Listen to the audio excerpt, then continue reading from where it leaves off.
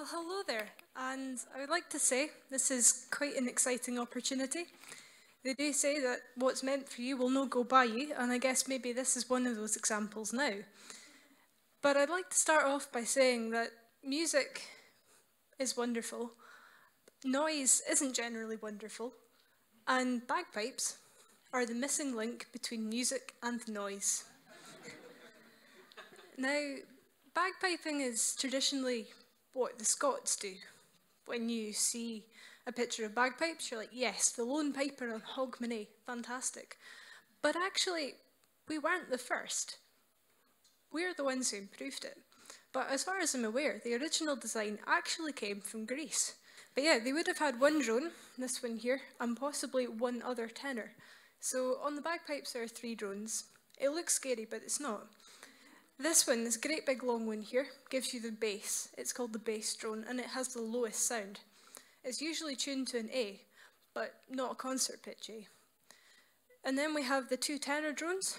These are tuned two octaves above your bass drone, and they give a nice high pitch E. Now, the best way to tune them is to try and stop them from wavering, but we'll get onto that in a wee second. Then this bit here, it's what your fingers go on. And then this bit here is what you blow into to fill up the bag. But yeah, in their original form, they would only have had maybe one or two drones. And for some unknown reason, they migrated over to Scotland. And that was all quite good for a long time, but then unfortunately disaster happened. The English took over, kilts were banned, bagpipes banned, oh it was terrible. But it was okay, because over in the islands, so we're talking about particularly the Isle of Skye and the Western Isles, piping really took off because what else are you going to do when you're marooned on an island? And so during the 1700s, piping really developed, and this is where we can see this design coming out of it. And interestingly, at that time there was a lot of folklore. People were very much into fairies, goblins, all that kind of thing.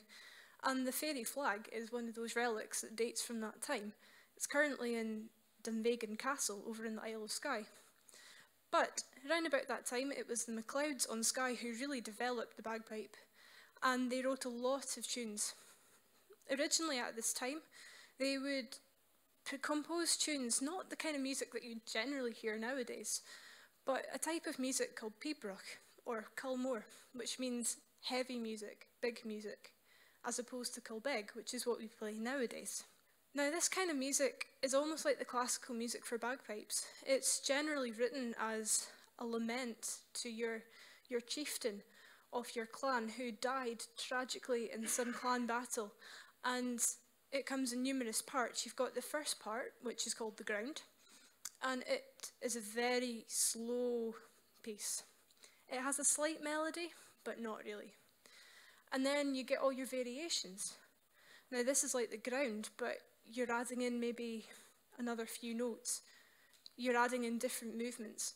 And then gradually you build up, build it up, and it gets to this climax. And then it stops. It suddenly goes back to the ground. So in that sense, it is like a jumble of notes for folk who don't know it. But for experienced pipers who are well tuned, it's pretty good. But as well as doing that, they also decided to start writing happier tunes.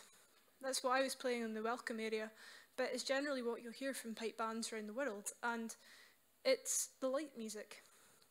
Jigs, reels, hornpipes, marches, strathspeys, all of that kind of light music. That's the stuff that we're really into. Not many pipers nowadays will go into Ceòl Beag, uh, sorry, Ceòl Mòr, which is the heavy music. That's generally reserved for the folk who do Highland Games and take it very seriously and are very proud to be a piper. Not to say I'm not, but it's just not my jam. But yes, yeah, so, so these are the pipes. This is kind of how it came to be. When the English cleared off and pipes and kilts and everything was allowed again, it migrated across Scotland and really sparked off a kind of generation of pipers. And that was quite interesting because in the country, you can almost cut a line down the Great Highland Fault line. You've got the east and the west, and interestingly, the piping is very different between those two regions. I never really was aware of it until I started learning myself from my dad, who was taught by the West Coast Pipers. And they play certain movements slightly differently to East Coast. So once you're well tuned into it, you can pick up the slight differences and say, oh, that's a West Coast Piper there, and nope, that's definitely an East Coast person. So it's quite interesting. But yeah, for a long time then, piping was only really found in the army. That was the only place you could keep going with your piping. And the army really refined the instrument. They very much set the standard for this is how piping should be done. And even nowadays, that still exists. Um, there's two books, the Scots Guards Volume 1, Scots Guards Volume 2. There's now a third volume, but Volume 1 and 2, they were really almost like the Bible for anyone learning the bagpipes. They were the, the music book you would go to. And they contain almost every tune that you'll ever want to play. And that came from the army. But as well as that, when you've got nothing to do, when you're outposted in some location around the world, what else do you do than take up your pipes and start composing tunes? And so they would have piping competitions and composition tunes, and, and they would do all manner of stuff. And Highland dancing really picked up at that time as well. Nowadays, you tend to think of it as young girls are dancing, that's the kind of main folk who would do it. But back in the day, it was all the army. So it's interesting how times have moved on. The time of the army really brought about a generation of purely male pipers. You know, back in, I'm from Wick, but my dad used to play in the town band in Thurso, and there was a generation that had come through the army and were all male, which now is starting to change. We've got girls and women starting to join into pipe bands, but it was a very male dominated thing for a long time, mainly because of the army. But yeah, so that, that's kind of the history of piping as best I know it. It's a wee bit crude and rough around the edges, but I'm sure Dad would be proud. And um, yes, so do we want a tune? yes. Okay, now I haven't played these since this morning. Um, unfortunately, I bashed one of the drones on a door. That sometimes happens when you're carrying them about because they're quite unwieldy instruments.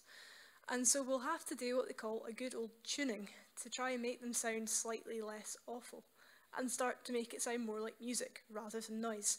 So without further ado, will we get going? Yep. Fantastic.